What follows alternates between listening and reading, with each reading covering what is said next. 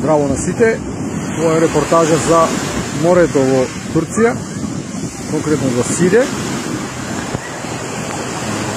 Овде плажата е со ситни камчина, песоклива. Морето е со бранови, диво, причем има ветер и најнаше длабоко.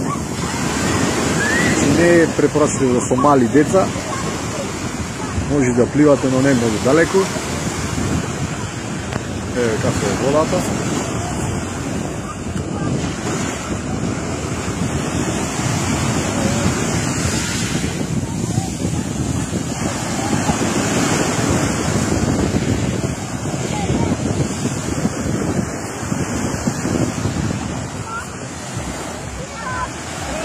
Интересни се бранови, се прави забава, цутка,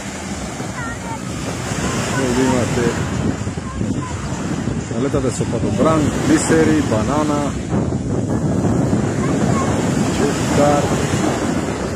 Има таму далеко едно како како возило е како Ферари. Само е глисер.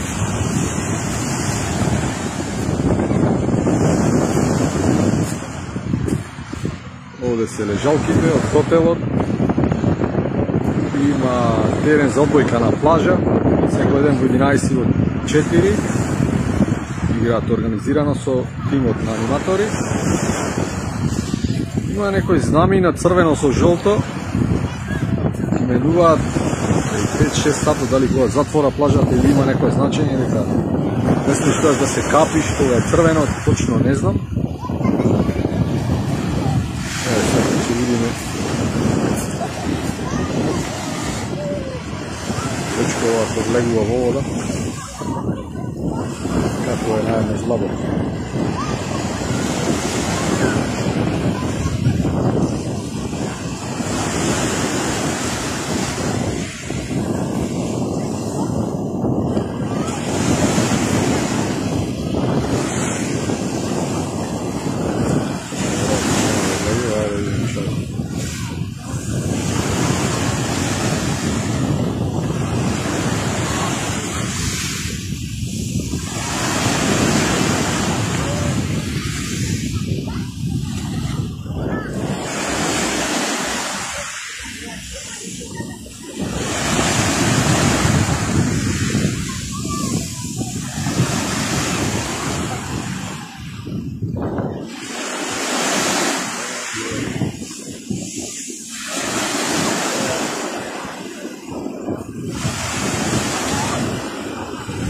Pozdrav dosta na